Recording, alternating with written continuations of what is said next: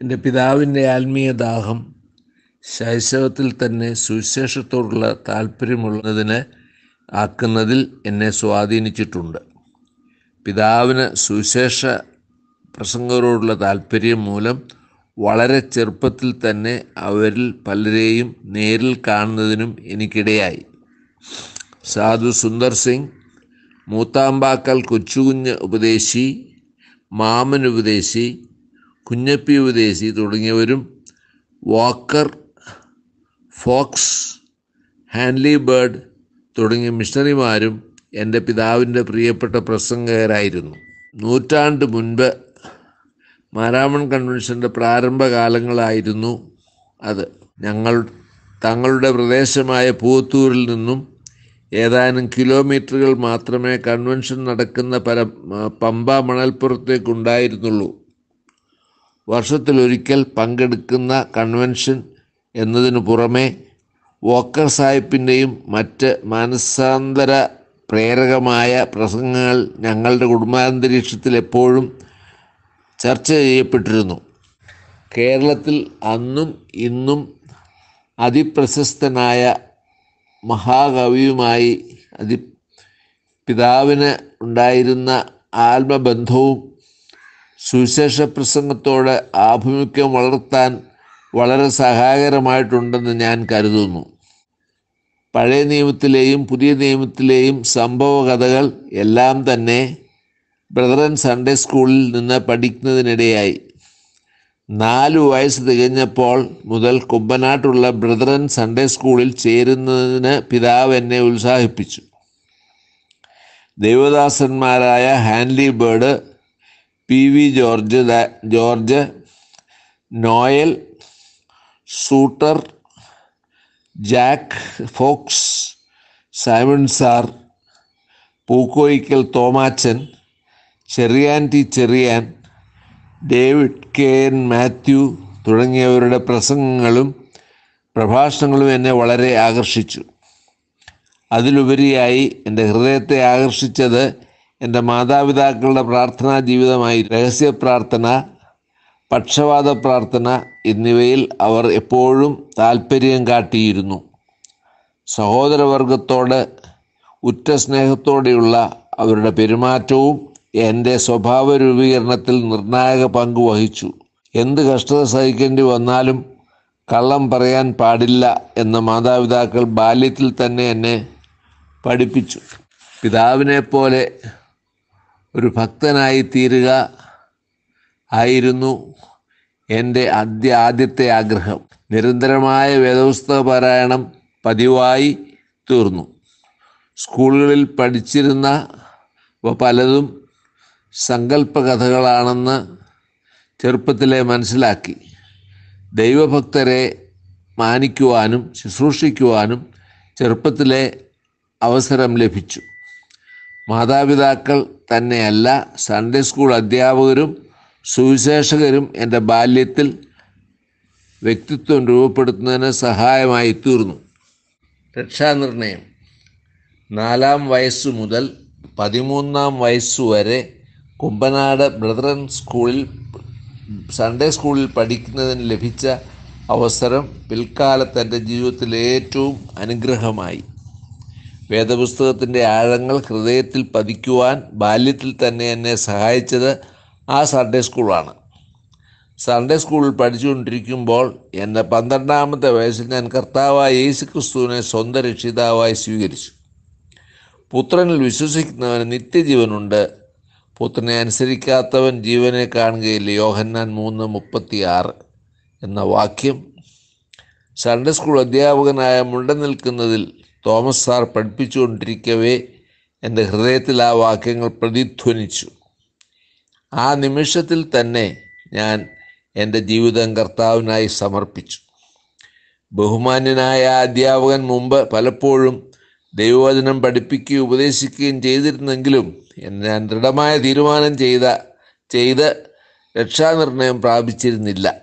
അങ്ങനെ അദ്ദേഹം എന്റെ ആത്മീയ പിതാവായി തീർന്നു. ബാല്യത്തിൽ യോഗങ്ങൾ സംബന്ധിച്ചുകൊണ്ടിരിക്കുമ്പോൾ പലപ്പോഴും ദൈവാത്മാവ് ഒരു സമ്പൂർണ സമർപ്പണത്തിന് വേണ്ടി എന്നെ പ്രേരിപ്പിച്ചിട്ടുണ്ട്. എന്നാൽ സമർപ്പണം ചെയ്താൽ പിന്മാറിപ്പോയെങ്കിലോ എന്ന ഒരു ഭയം എങ്ങനെയോ എന്റെ ഹൃദയത്തിൽ കടന്നുകൂടിയതിനാൽ അപ്രകാരം പരസ്യമായി ഒരു തീരുമാനമെടുക്കുന്നതിന് എനിക്ക് കഴിഞ്ഞില്ല. എന്നാൽ മേൽപ്പറഞ്ഞതുപോലെ മുണ്ട നിൽക്കുന്നതിൽ തോമസ് സാർ സൺഡേ സ്കൂൾ പഠിപ്പിച്ചുകൊണ്ടിരിക്കുമ്പോൾ ദൈവവചനം എന്റെ ഹൃദയത്തെ തകർക്കുകയും ആ വചനത്തിന്റെ വ്യാപാര ശക്തിയാൽ ഞാൻ സമ്പൂർണ സമർപ്പണത്തിലേക്ക് വരികയും ചെയ്തു. അന്ന് തന്നെ സഭായോഗത്തിൽ ആദ്യമായി ഞാൻ കർത്താവിനെ പരസ്യമായി സാക്ഷീകരിച്ചു. അന്ന് കർത്താവ് എന്റെ പാപങ്ങളെല്ലാം മോചിച്ചുവെന്നും ഞാൻ ദൈവപൈതലായി തീർന്നുവെന്നും എന്റെ ഹൃദയത്തിൽ നിർണയം ലഭിച്ചു. ബാല്യപ്രായത്തിന്റെ ബലഹീനതയിൽ എന്റെ ജ്യേഷ്ഠ സഹോദരങ്ങളോട് ചെയ്തു പോയ തെറ്റുകൾ പരപ്രേരണ കൂടാതെ ക്ഷമ ചോദിച്ച സംഭവം ഞാൻ ഓർക്കുന്നു. ക്രിസ്തുവിനെ രക്ഷിതാവായി സ്വീകരിച്ചപ്പോൾ മുതൽ എന്റെ ജീവിതത്തിൽ പ്രത്യക്ഷമായ മാറ്റം കണ്ടു തുടങ്ങി. ആ നാൾ വരെ പ്രായത്തിനൊത്ത വളർച്ചയില്ലാത്ത കുട്ടിയായിരുന്നു ഞാൻ. വളരെ ബലഹീന ശരീരമുള്ള എന്റെ കാര്യത്തിൽ എന്റെ മാതാവ് അതിദുഃഖിതയായിരുന്നു. എന്നാൽ ഞാൻ സന്തോഷത്തോടെ പറയട്ടെ. എന്നാൽ ഞാൻ അവനായി ജീവിതം നൽകിയ നിമിഷത്തിൽ കർത്താവ് എന്നെ ശക്തീകരിച്ചു. ആ പ്രത്യക്ഷമായ സംഗതി എന്റെ വിശ്വാസത്തെ ദൃഢീകരിക്കുക ആണ് ഉണ്ടായത്. ദൈവം അന്നും ഇന്നും എന്നേക്കും മതിയായവൻ. തുടർന്ന് പരസ്യയോഗങ്ങൾ ഞാൻ കർത്താവിനെ സാക്ഷിക്കുന്നതിന് ആരംഭിച്ചു. എന്റെ സ്നാനം. പതിമൂന്നാമത്തെ വയസ്സിൽ ഞാൻ നിമഞ്ജന സ്നാനം പ്രാപിച്ചു. അവന്റെ ദാസൻ പഷയാർട്ടി അതിശയം. അതിശയത്തിന്റെ കൈക്കീഴിൽ പൂത്തൂർ ചിറയിൽ വെച്ചായിരുന്നു സ്നാനം. അന്ന് വിദ്യാർത്ഥിയായിരുന്ന ഞാൻ കർത്താവിനെ പരസ്യമായി സാക്ഷിച്ചത് സഹപാഠികൾക്കിടയിൽ വലിയൊരു പദവിയായിട്ടാണ് കരുതിയത്. പിതാവിനോടും സഹോദരങ്ങളോടും ചേർന്ന് ചുറ്റുപാടുള്ള പ്രദേശങ്ങളിൽ പരസ്യ സുശേഷീകരണത്തിനായി കടന്നുപോയി. ഞങ്ങളുടെ വീടിന് പിന്നിലുള്ള കുന്നിന് മുകളിൽ വെളുപ്പാൻ കാലത്ത് കയറി ചെന്ന് ഉച്ചത്തിൽ വാക്യങ്ങൾ വിളിച്ചു പറയുകയും പ്രാർത്ഥിക്കുകയും ചെയ്തു പോന്നു. മാതാക്കൾ മാതാപിതാക്കളുടെ ജീവിതം പ്രാർത്ഥന എന്നിവ എന്റെ ജീവിതത്തെ വളരെ സ്വാധീനിച്ചു. മക്കൾ ദൈവരാജ്യത്തിൽ വലിയവരാകണമെന്നുള്ളതായിരുന്നു അവരുടെ പ്രാർത്ഥന അത്രയും. കൂടാതെ പ്രാർത്ഥനാ ജീവിതം എന്നാൽ എന്താണെന്ന് അന്വേഷിച്ച് എനിക്ക് എവിടെയും പോകേണ്ടി വന്നില്ല. മാതാപിതാക്കൾ അതേപ്പറ്റി പറഞ്ഞു തരികയും വിശ്വാസത്തെ ഉറപ്പിക്കുകയും ചെയ്തു. ബാലശിക്ഷയും പ്രബോധനവും അവർ ഒഴിവാക്കിയിരുന്നില്ല. രക്ഷിക്കപ്പെട്ടതിന് ശേഷം എന്നെ എന്റെ കൂടപ്പിറപ്പുകളോട് ബാല്യ സഹജമായി ചെയ്തിരുന്ന തെറ്റുകൾക്ക് ക്ഷമ ചോദിക്കാൻ ദൈവം എനിക്ക് പ്രേരണ നൽകി. ഒരു ദൈവവേദലാണെന്ന ചിന്ത അതിനായി എന്നെ പ്രേരിപ്പിച്ചു. അനുതാപം കൂടാതെയുള്ള മനസ്സാന്തരം ഇന്ന് അനേകർക്ക് തളർച്ചയായി തീരുന്നുണ്ട്. എന്നാൽ ഞാൻ അറിയാതെ തന്നെ എന്റെ ചെറുപ്രായത്തിൽ ദൈവം എനിക്ക് വഴികാട്ടിയായി എന്നതിൽ ഞാൻ അവിടുത്തെ സ്തുതിക്കുന്നു. അവൻ എന്റെ പാതയിൽ പ്രകാശമായിരുന്നു. എനിക്ക് രക്ഷയായും തീർന്നു. ഭാവിയിലും എനിക്ക് തെറ്റ് സംഭവിച്ചാൽ ക്ഷമാപണം ചെയ്യുന്ന മടിയില്ലാത്തവനായി തീരാൻ ഈ സംഭവം ഉതകി. ഒരിക്കൽ എന്റെ സഹധർമ്മിണിയോട് കോപിച്ചതിന് എന്റെ മക്കളുടെ മുമ്പിൽ വെച്ച് തന്നെ ഞാൻ തന്നോട് ക്ഷമ ചോദിച്ചതിന് ശ്രമിച്ചത് ഓർക്കുന്നു. സകലവും നന്മയ്ക്കായി കൂടി വ്യാപരിക്കട്ടെ എന്നാണ് എനിക്ക് പറയാനുള്ളത്. വെറ്റിലക്കൊടിയുടെ കഥ. എന്റെ ബാല്യകാലത്ത് വെറ്റിലക്കൊടി വളരെ ആദായമുള്ള കൃഷിയാണ്. അപ്പച്ചൻ ധാരാളം കൊടി നട്ടിരുന്നു. അതങ്ങനെ വളർന്നു നിൽക്കുകയാണ്. അപ്പോഴുണ്ട് ഒരാൾ വിരുന്നു വരുന്നു. സാക്ഷാൽ കുഞ്ഞപ്പി ഉപദേശി. വീട്ടിൽ ഉപചാരമായി കുശലം പറഞ്ഞു. സൽക്കാരം തുടങ്ങി. ഉപദേശി പിണങ്ങി. ഞാൻ കഴിക്കുകയില്ല. എല്ലാവരും അമ്പരന്നു. എന്താണ് കാരണമെന്ന് അപ്പച്ചൻ തിരക്കി.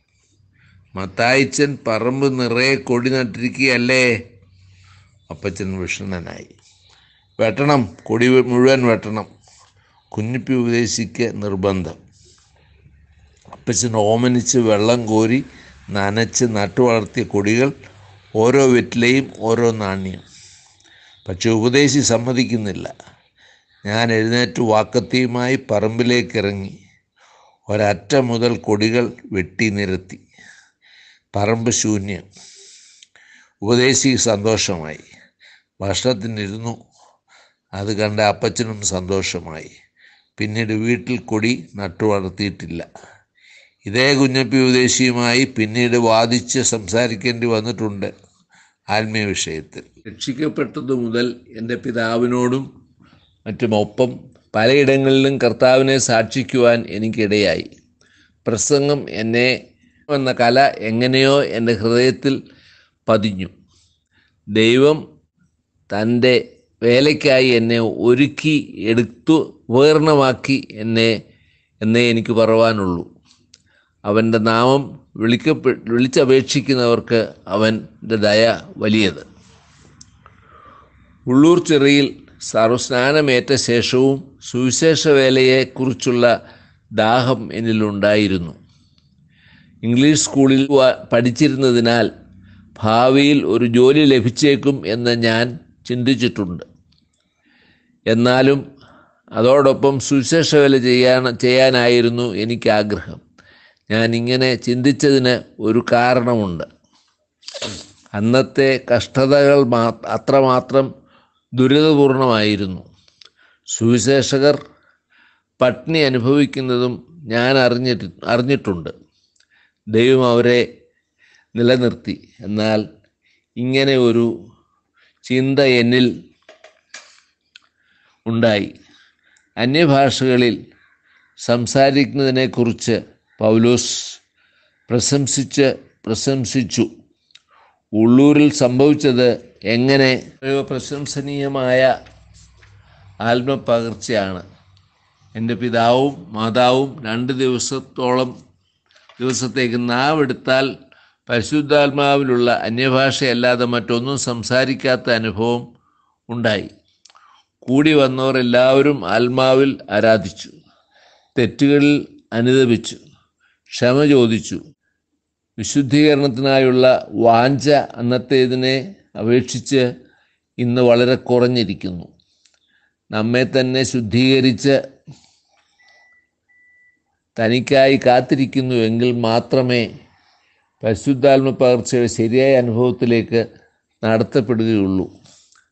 അനുതാപം കൂടാതെയുള്ള ആത്മനിറവും വിശുദ്ധി പഠി പഠിപ്പിക്കാതെയുള്ള അന്യഭാഷ ആഹ്വാനവും മാതൃകയല്ല.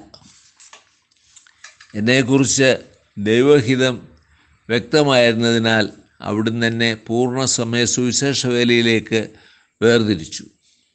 അത് അത്ഭുതകരവും അനുഗ്രഹകരവുമാകയാൽ അനുഗ്രഹകരവുമായാണ് ഞാൻ പിന്നോട്ട് നോക്കുമ്പോൾ കാണപ്പെടുന്നത്. ക്രിസ്തുവിൽ എന്റെ ശുശ്രൂഷയിൽ എന്റെ കഴിഞ്ഞ കാലമെല്ലാം ചെലവിട്ടു. ലോകത്തിന്റെ പ്രതാപങ്ങൾക്കായി സമയം കളയേണ്ടി വന്നില്ല. അതെ ഞാൻ അതിശയകരം തന്നെയാണ്. എന്നാൽ കൃപയാലത്രേ ഞാനാകുന്നു സുവിശേഷ വേലയ്ക്കായി എനിക്ക് വിളി ലഭിച്ചപ്പോൾ സ്കൂൾ വിദ്യാഭ്യാസം അവസാനിപ്പിക്കാൻ ഒരുങ്ങിയെങ്കിലും മെട്രിക്കുലേഷൻ വരെ തുടർന്നു. എ സി മാത്യൂസ് കുഞ്ഞിക്കാച്ചൻ എന്റെ സഹപാഠിയാണ്. സ്കൂളിൽ പഠിപ്പിച്ച അധ്യാപകരും പ്രസംഗങ്ങളോട് താല്പര്യമുള്ളവരായിരുന്നു. ഉറുമ്പിലെ ഐസക് സഹോദരൻ ടി ഐ മാണി എന്നിവർ തുടങ്ങിയവരെ ഞാൻ ഓർക്കുന്നു. അവർ അക്കാലത്ത് സുവിശേഷ പ്രവർത്തനത്തോട് വളരെ താല്പര്യം പ്രകടിപ്പിച്ചവരാണ്.